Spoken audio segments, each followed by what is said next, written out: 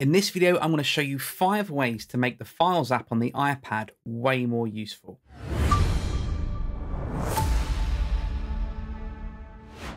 Hello and welcome to Everything iPad, the show all about the iPad. In today's show, we're going to take a look at the Files app. I'm going to give you five ways to make it a little bit more useful as you use it every day. So for the first few tips, we're going to take a look at the sidebar that's on the side of the Files app. Now, if you can't see it, you can turn this on and off using the icon in the top left hand corner of the screen to show or hide that sidebar. It's a really useful place actually for getting around this app really quickly. And my first few tips actually focus all around this. So the first tip we're going to look at is actually how you can enable additional cloud storage services from within the Files app. So if you have the OneDrive app installed or uh, the Google Drive app, and there's a few others, you can actually enable it so you can access files from those services from within the Files app is really, really useful. Now to do that, we need to edit the sidebar. If we take a look at our sidebar, in the top right corner of the sidebar, I've got an icon with three dots. If I just tap on that, I've got three options here. The last one is called Edit Sidebar. So I'm going to tap on that. And this is where we can actually change a lot of stuff around and reorder things. But you'll notice I've actually got three services now I don't have enabled. So I've got Grammarly, Google Drive, and OneDrive. And all I need to do is simply toggle to turn each one of these services on. So I'm going to turn them all on. Why not? Then when I'm done, I can hit done. And now I've can act. Now I've got access to these services right from the Files app. And it's not just the Files app, but if you're uploading something through Safari or whatever, um, you get the sort of document picker come up. It'll also show it there as well. So it's really handy to make sure these are turned on. So just to prove this works, I tap on OneDrive. As you can see, I've got access to my files and shared documents. Same with Google Drive. I can get all of that stuff um, all ready and available. So that's my first tip. Make sure you got all your different cloud services enabled within the Files app. Next, we're going to turn our attention to the favorites part of the sidebar. This is where I can add um, shortcuts to specific folders on my uh, iCloud Drive or on my iPad that I want to get really, really quick access to. So it's really easy to set up. And as you can see, I've got a few folders here already. Now, to add a folder to your favorites is really easy. I've got a couple of folders you can see on the screen here. If I long press on one of them, brings up a contextual menu. One of those is called favorite. So if I tap on favorite, it now gets added to the side underneath favorites. If I want to remove anything from my favorites, what I can do is I can tap on the three dots, that icon in the top corner that we showed you before, tap on edit sidebar, and then I can just tap remove anything I don't want to see. Tip number three is all about using tags. This is really good if you want to get access to files really quickly that might be in a variety of different places. So you might tag things based on their file type or what they're used for. So if you can have a look on my screen, I've got a purple dot next to it that says videos. So what I've done is I've tagged a bunch of videos that I have saved on this iPad or an iCloud Drive. If I just tap on that tag, it takes me to the videos that I've highlighted. So I can edit these tags, I can rename it, I can change colors and all that sort of thing. Um, and let's set one up now. So to do that, tap on the three dots once again and choose edit sidebar. Now I've got these different tags um, in the bottom left corner of my screen you can see here. I'm going to move the yellow one. I'm just going to reorder it so it's underneath videos. And what I'm going to do is I'm going to rename it from yellow to something a little bit more um, useful. I'm going to call this one image assets. Now, this is really useful, this kind of thing, if you're a creator um, and you need to upload like avatars, social media pictures, or anything like that. You want really quick access to the, these files and they're all in different places. So I'm just going to call this image assets.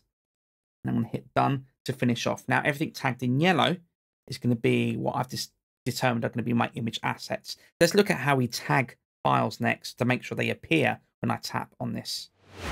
So I'm going to tag a bunch of files now. And to do that, I find the file I want. So I've got this one called social here. I'm going to long press on it, brings up that contextual menu again. I'm going to tap on tags and then I'm going to choose image assets. Um, tap away, now you can see a yellow circle has appeared.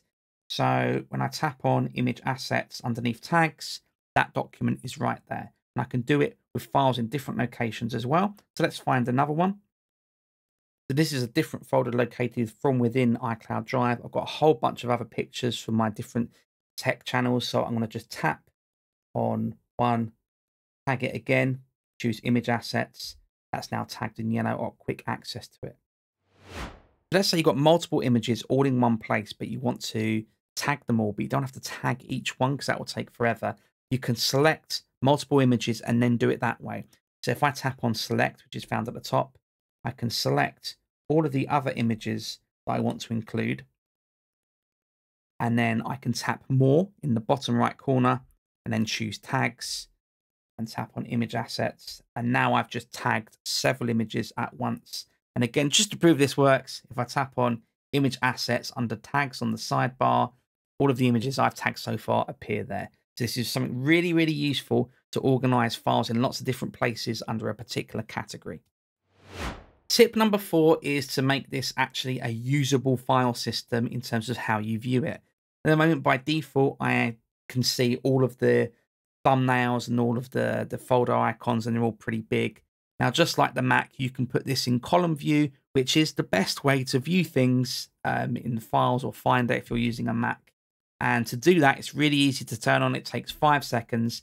Next to select in the top corner of the screen, I've got this icon which has four squares. If I tap on that, this allows me to rearrange um, icons by name and date or whatever. You can do anything you like. Um, but the one thing we can look at is the top three. I can view icons, a list, or columns. If I tap on columns, I'm now in column view, which is way more useful in terms of navigating around and finding stuff. So I can tap on things, move around. Yeah, this is the this is the way you should be using um, the Files app, in my opinion. So for the final tip in this video, we're going to create a shortcut. And a shortcut is something we can put on our home screen or our dock. But when we tap on it, it's going to open up a specific folder in the Files app. So this is something that's really useful if you need access from your home screen uh, to, to get to a particular folder really, really quickly or frequently. And I've talked about shortcuts on a previous episode where I looked, if you look at my dock, I've got these colorful icons down here, which do all sorts of different things. If you haven't watched that episode yet, do check it out because it's really useful.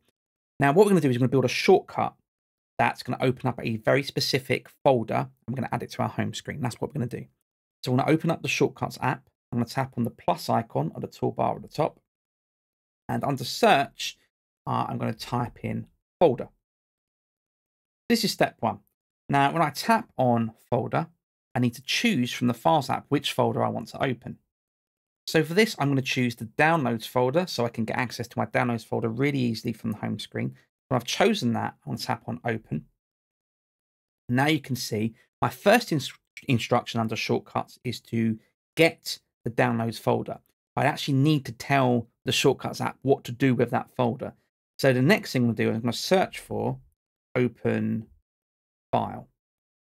And I'm going to tap on this. Now, even though I've chosen File, it automatically um, allocates it as a folder, as you can see here.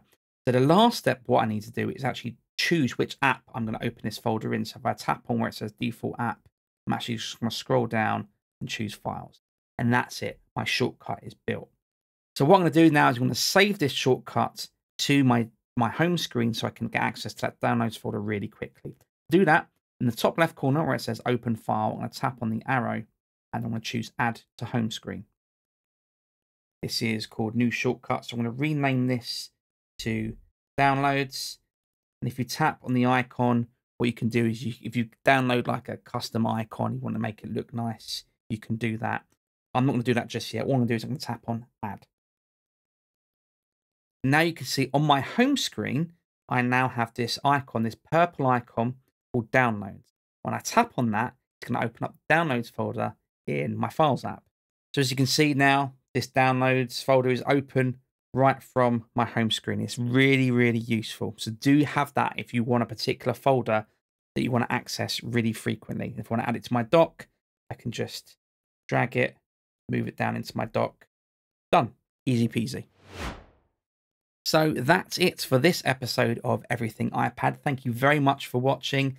Um, please like, comment, subscribe, and get involved. How are you using the Files app? And if you got any tips that make the Files app even more useful, do let me know. If you want to support, do the like and comment thing. But also, if you want to leave a donation, you can use the super thanks button here on YouTube. Or you can have a head over to buymeacoffee.com forward slash buzzkill to leave a donation there. Thanks very much for watching, and I'll be back soon with some more iPad tips and tricks.